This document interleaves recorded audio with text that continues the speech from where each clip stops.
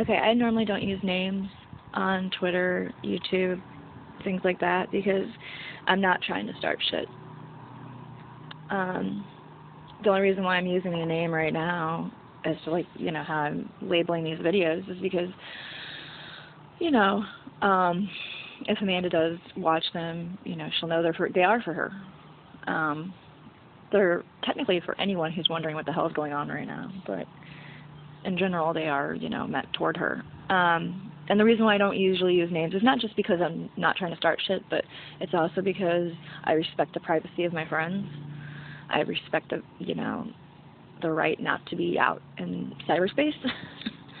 so, all right, peace.